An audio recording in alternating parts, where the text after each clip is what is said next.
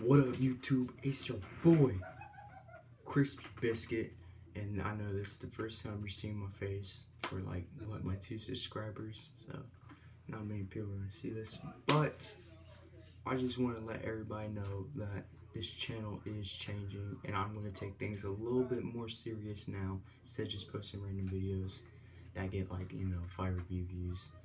I'm trying to be like that guy right there. So you know, big numbers big numbers, you feel me? If you can spread support and show all the love, I really appreciate that. And um, I'll see you guys in the next video.